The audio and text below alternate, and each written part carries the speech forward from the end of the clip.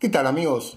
Bueno, en este video les voy a mostrar el capacitor de mi video anterior que les mostré, así que de esta forma lo instalé. Es un ventilador tiravento comprado en el año 2014 y traía un capacitor que no decía los microfaradios. Como dije en el video anterior, este, no tenía los microfaradios, me fui a una casa de electrónica, me dijeron que era de 2 micros y bueno, este, lo compré, lo acabo de cambiar. Yo acostumbro trabajos así, eh, usar borneras cuando se puede. Si están bien instaladas, no hay ningún problema.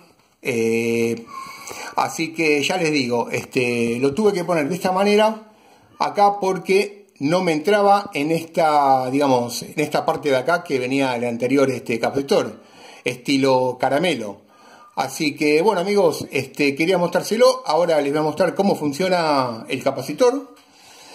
Eh, cuando yo llamé a la casa de, de Tiravento, le pregunté qué capacitor iba acá y me dijeron de 2,5.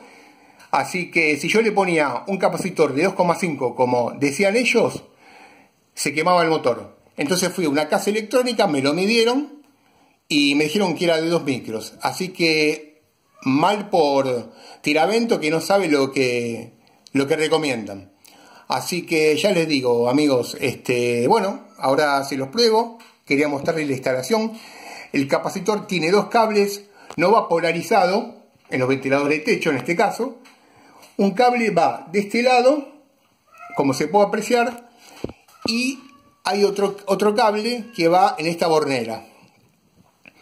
Entonces, bueno, como estoy acostumbrado a usar bornera en trabajos así, este, la verdad que queda más prolijo y presentable y más práctico a la hora de cambiar.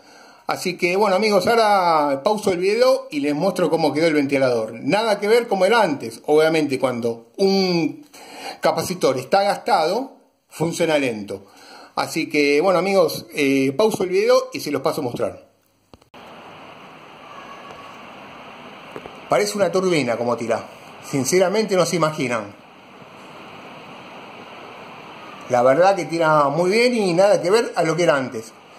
Así que bueno, tengan cuidado cuando compran un capacitor, o mejor dicho, desarmen un ventilador y les vengan con un capacitor que diga 205 es de 2 microfaradios. Y si el capacitor es de 255 es de 2,5 microfaradios. Así que bueno amigos, he finalizado este video, complemento del anterior. Así que bueno, espero que les haya gustado. Comenten, suscríbanse.